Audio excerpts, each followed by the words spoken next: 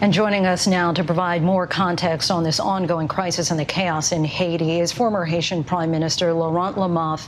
We thank you so much for being here with us. First off, our condolences for all of the upheaval in your home country right now. What was your reaction when you heard of the death of, of the president there?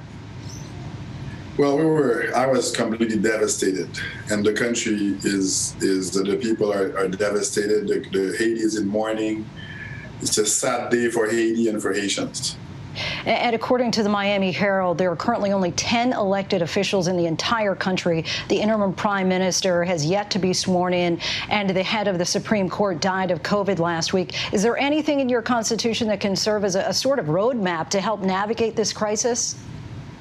Well, the the Constitution, in, in its Article 149, calls for if, in the absence of the president, the Council of Ministers with the existing Prime Minister carries through uh, the, the management of the country until the, the and have 60 days to carry out elections. So since the elections, they were already planned for the 26th of September. So that timeline falls exactly um, right within the framework of uh, for elections. Eh, what security entity is responsible for the safety of the president? Have they given any explanation as to how this happened? Well, um, Haiti has a police force, as you know, that was trained um, by the, you know, a lot of a lot of the components were trained by the international community. Um, there is also a special unit uh, for the presidential security that have over, you know, a thousand guards in there. But you know, the, the news that I have myself uh, you know, straight from the front lines from Haiti is that um, the, the, all the uh, all the mercenaries they're still holed up. So there is 28 of them, and there are 28 Venezuelan nationals.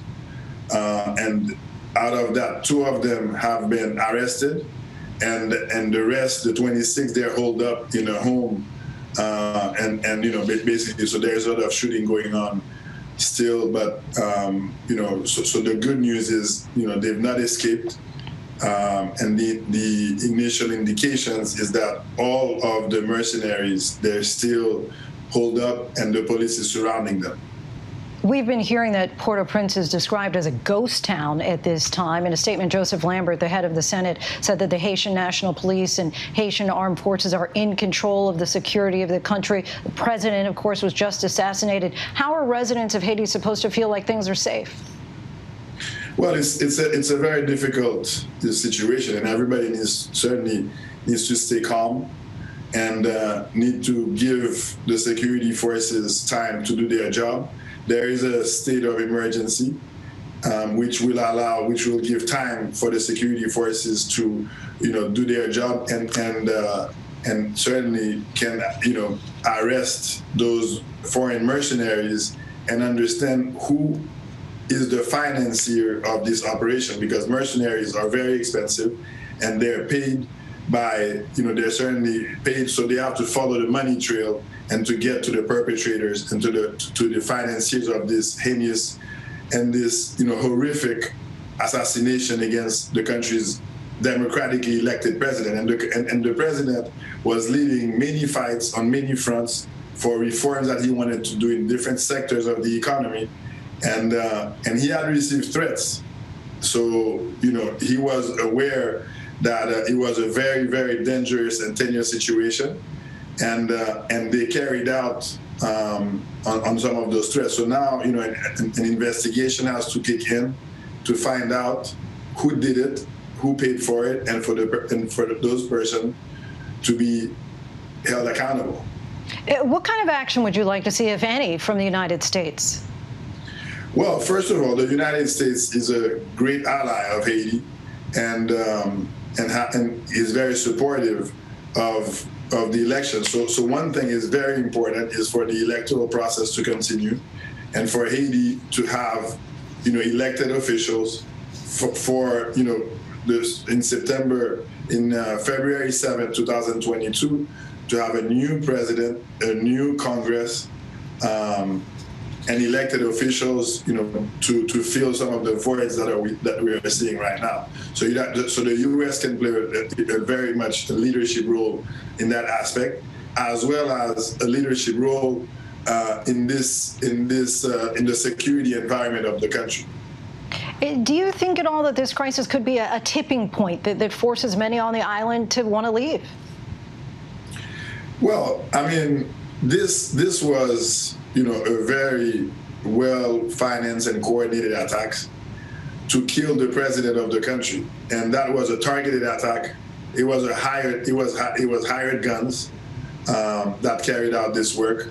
The people of Haiti, um, you know, I mean, what they want, they want peace. They want, you know, an environment conducive to be able to find jobs, and and they want security. So, and and, and, and the, the authorities have to rise to the occasion and, and be able to provide it. And, and and catching these guys would be an important point to to get to who's behind it, and that's the key to it. And for this crime not to be, um, you know, not to be uh, let as you know the investigation continues. It has we have to get through it and and find the people you know that that carried this through and that gave the orders. Back in 2015, you were among a group of people barred from the presidential race in Haiti. Obviously, things are quite different now, and it's once again a presidential election year. Might you consider a run? Well, you know, I get asked this question, you know, in every interview that I do, and, and what I say is, you know, I I want to continue to help the country. I want to continue to help Haiti, and I don't think you need to be president or prime minister to do so. Former Haitian Prime Minister Laurent Lamothe, we thank you so much for your time tonight. Thank you very much. I appreciate it.